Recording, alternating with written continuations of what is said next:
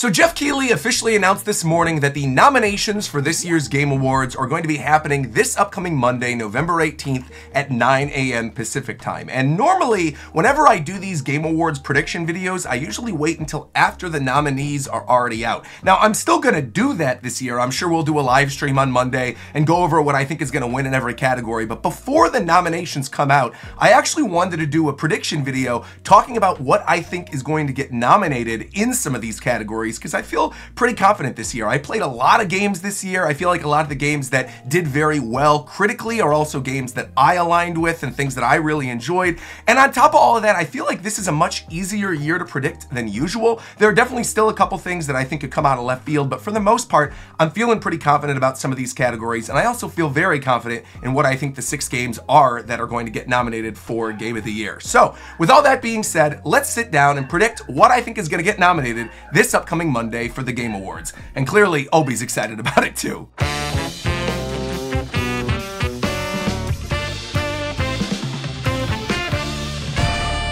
And right at the very beginning of this video, I want to stress again that these are not necessarily what I think deserve to get nominated in each of these categories. These are what I think the judges for the Game Awards will nominate for each of these categories. And that is a pretty important distinction because whenever I end up doing a video about my favorite games at the end of this year, a lot of these probably won't end up being on that list. So just keep that in mind as we're going through these. Now we're going to kick things off by talking about the games that I think are going to get nominated for the Best Action Game category. And the reason I'm starting here here is because historically the Game Awards have a really weird track record in terms of classifying games as action games or action adventure games. I feel like the five action games this year are all pretty solidly locked for this category, whereas the things that I think are potentially action adventure titles or will be classified as action adventure titles will probably fall into that category as well. But again, historically, there have been games that could have been in the RPG category that end up in action adventure. I think a good example for something that might end up in action adventure adventure this year because there's not really a platformer category is Astrobot. I definitely feel like that could end up there, even though I wouldn't classify that as an action game. Um, but again, in terms of straight action, just action games, these are what I think the five nominees are going to be.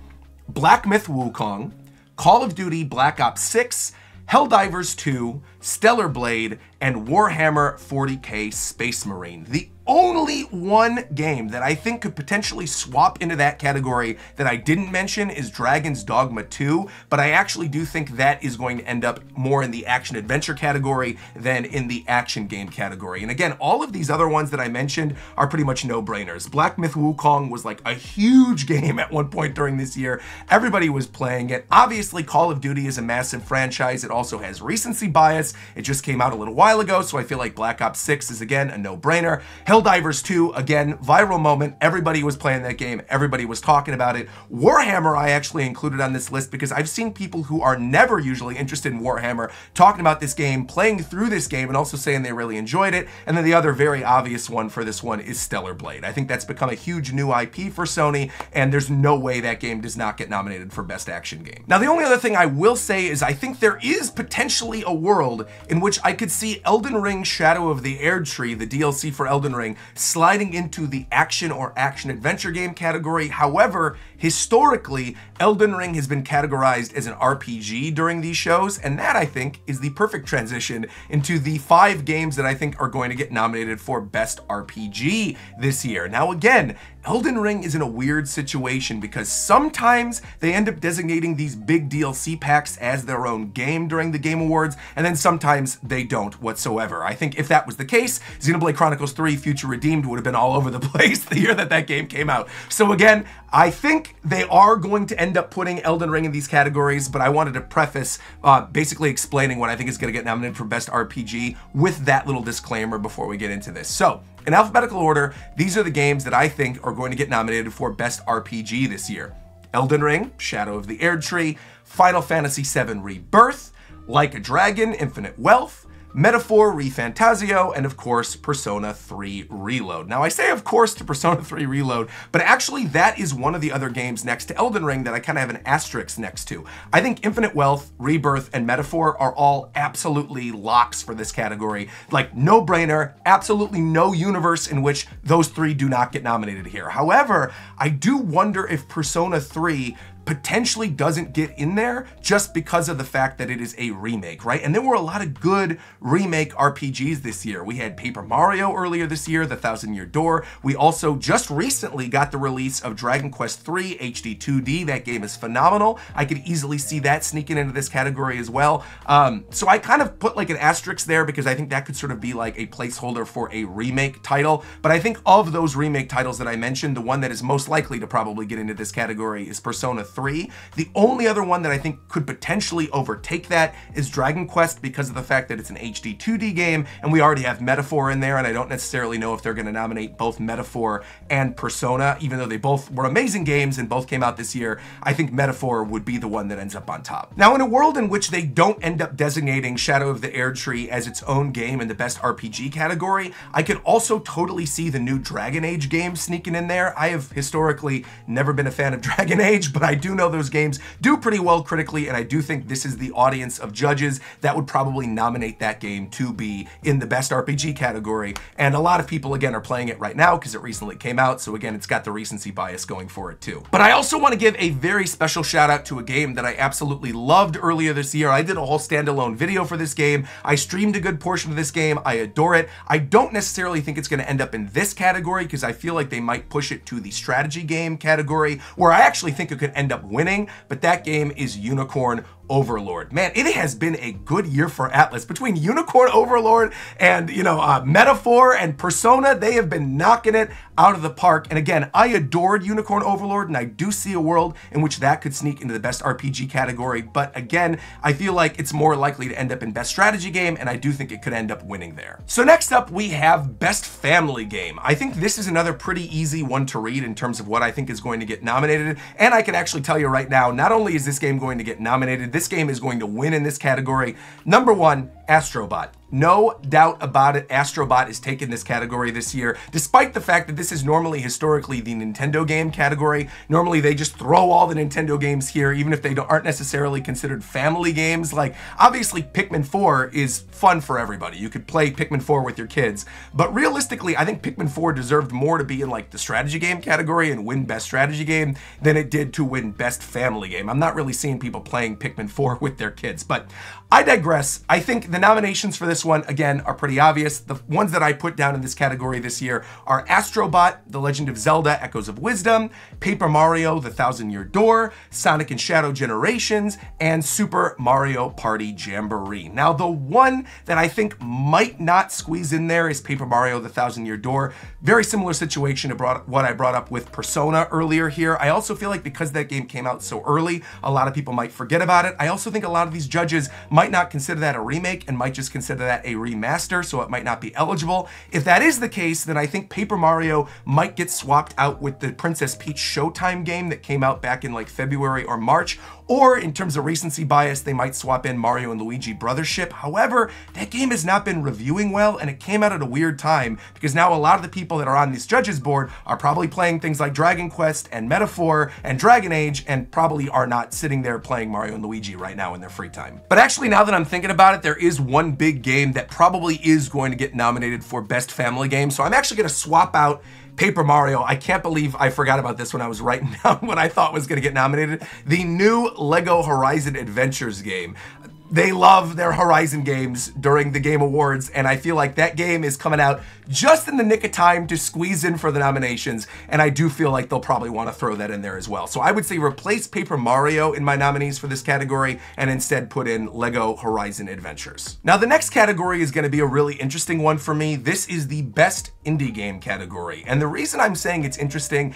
is not necessarily due to the games that I think are going to get nominated. It's interesting because this might not even be a category at all this year. Some of you might remember during the Game Awards last year, Geoff Keighley and the team that put together the Game Awards got a lot of feedback from people who were upset, who thought that there were certain games that got nominated for Best Indie Game that didn't deserve to be there because they shouldn't be classified as indie games because they had big publishers behind them. So I don't even know if they're going to include this category this year. I think they should, and I think the nominees for this one are pretty clear if they do end up including it. So I'm going to include it in my predictions for what I think is going to get nominated. Okay, so my five predictions for what I think is going to get nominated for Best Indie Game this year are Animal Well, Balatro, Thank Goodness You're Here, UFO 50, and Thousand Times Resist. Now, some of you might be going, what the heck is Thousand Times Resist? If you have not been listening to video game podcasts and other critics about their favorite games this year, this has been on every single list. They said the narrative is amazing, that it was life changing, that playing through this game. Again, I have not had the chance to play this game this year. I'm only going based on what other people have said.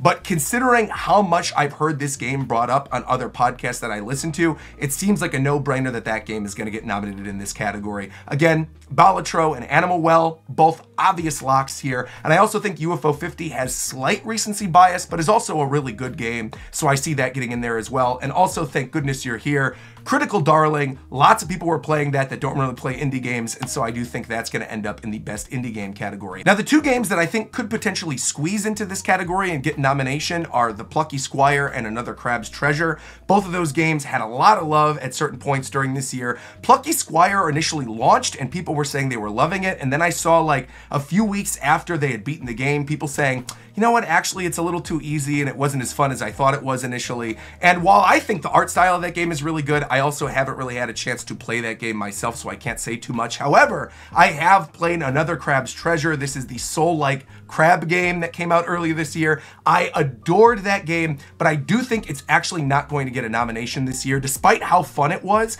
due to the bugs in the Switch version when that game was first released. And I do think a huge audience for that game was on Switch, and I think a lot of people sort of have those initial bugs and the bad performance of that game on Switch still in their head, so they might not end up nominating the game. But again, the game has been patched since then, and it just really is an excellent title and one of my favorite games this year. So it'll be a bummer if another Crab's Treasure doesn't get in there, but I do think it could potentially squeeze in if one of the five that I consider to be the locked nominees for Best Indie Game don't end up making it. Now, next up, we have one of my favorite categories, which is Best Score slash Best Music. I adore music in video games. Obviously, I upload music reactions sometimes to my favorite tracks in games, and I do feel like this year we have three very solid locks for this category, with those locks being Final Fantasy VII Rebirth, Metaphor ReFantazio, and of course, Elden Elden Ring Shadow of the Erdtree. This is a category in which I do think they are going to nominate that game as its own thing. I don't think there's really going to be a discussion like it was in some of the other game categories.